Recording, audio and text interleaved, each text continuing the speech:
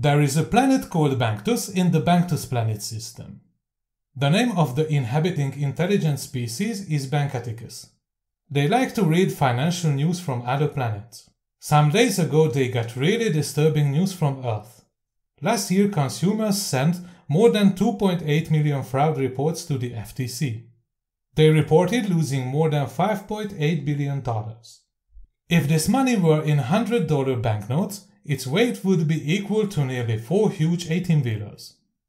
However, they do not know what a Class 8 track is, the numbers are high enough to attract the attention of Bankaticans.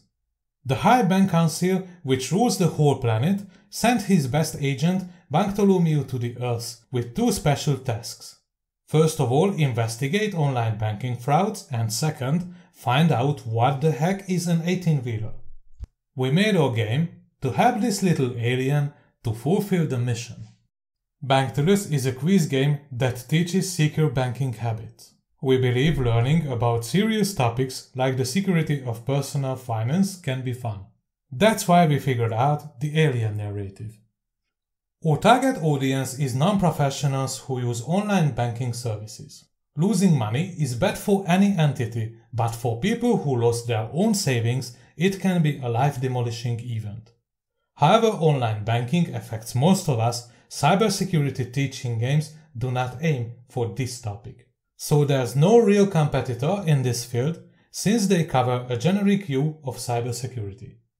The gaming workflow is really simple. Users can select the topic to learn about. Selecting the number of questions is an option as well. The tasks are straightforward, select or click. If they are uncertain, we provide hints and background information about the questions or the answers as well. After the test, we show a visualized result. Users can download a personalized certification about finishing the short course. This game is self-sustainable. Direct advertisements on the web page or indirect advertisements between the questions or answers can provide enough money for the cost of maintenance and development.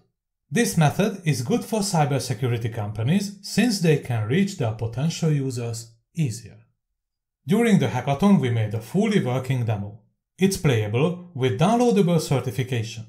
In the future we want to add more questions and cover more topics from the field of online banking security. If we won the first prize, we would spend a virtual meeting asking experts about real-life problems and how we can help to teach the users to defend themselves from these incidents.